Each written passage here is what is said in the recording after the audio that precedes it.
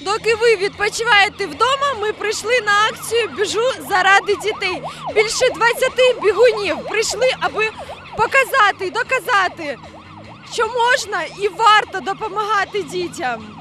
Аутисти, діти з особливостями розвитку та інвалідністю. Заради них долають 21 кілометр учасники забігу. Організатори акції та бігуни в такий спосіб хочуть привернути увагу до здорового способу життя та допомогти дітям з особливими потребами. Мы сегодня присоединяемся, э, бежим э, к акции «Бежим ради детей». Э, Это будет прекрасный забег, посвященный деткам. Э, У нас в Полтаве, в Полтавской области много деток, которые страдают на аутизм.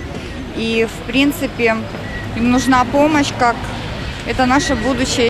Організатор Неля Агапова розповідає, акція триватиме упродовж місяця. З сьогоднішнього дня Григорій Юхимець і Кербу Дмитро це два наші основних учасники, які щодня будуть бігти і долати дистанцію 21 кілометр. Тобто за місяць у них у кожного буде 630 кілометрів.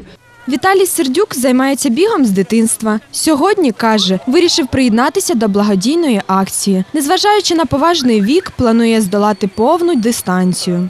Участвую в акції е, Забіг заради дітей.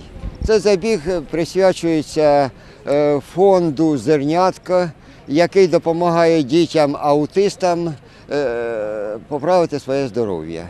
Отримані кошти підуть на закупівлю методичного обладнання для центру розвитку дітей Дитина і світ. Діти аутисти це звичайні діти, але розвиваються вони трошки по-іншому і тому потребують великої корекції в перші роки життя. А для цього потрібно багато сил, терпіння, коштів.